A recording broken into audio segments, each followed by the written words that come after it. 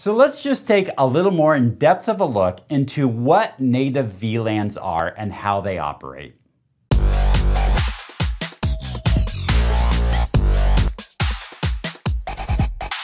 We know that how trunk lines operate is they send the information from switch to switch with the VLAN information, the VLAN ID tagged within the Ethernet frame. So that way when the frame gets to the other switch, it can know what VLAN that Ethernet frame is a part of.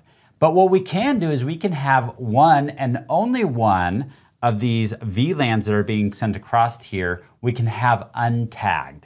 So what that means is, is that if I, I can have all of these different VLANs going across here, they're all tagged, and as long as I only have one VLAN that's untagged, this switch is going to know what VLAN that's a part of, provided that you program that both of these switches have the same native VLAN in place. So that's what a native VLAN is. It's just untagged traffic that's going across those Ethernet lines.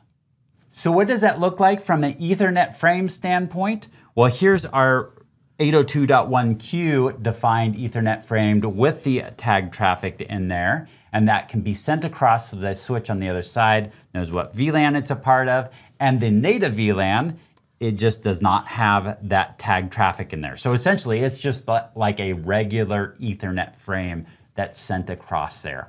Now, the reason why you'd want to have a native VLAN is for some legacy equipment or some older protocols that are communicating back and forth, and those devices are not going to necessarily have tagged traffic go, go across there.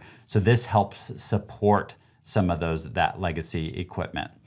All right, so there you have it. So that's the native VLAN.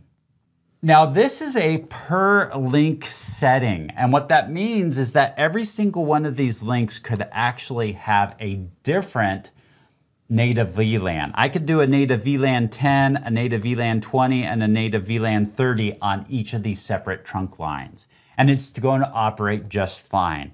Because what I'm doing is I'm actually configuring it on the interface. So I'm configuring it on each of these interfaces which allows me to configure each of these lines differently. Now, one thing you got to watch out for is what you would not want to do is you would not want to do a VLAN 2, native VLAN 2 on this side and a native VLAN 10 on this side because that can cause some problems.